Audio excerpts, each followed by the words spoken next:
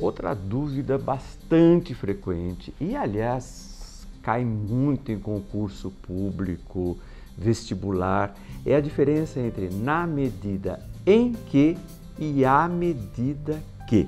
Né? Então, em primeiro lugar, a medida que indica proporção. Né? Então, eu digo assim: à medida que passa o efeito da anestesia, a dor aumenta, existe uma proporcionalidade aí.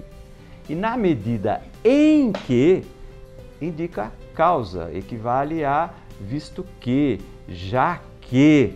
É, por exemplo, na medida em que não chegaram a um acordo, o projeto foi vetado, uma vez que não chegaram a um acordo.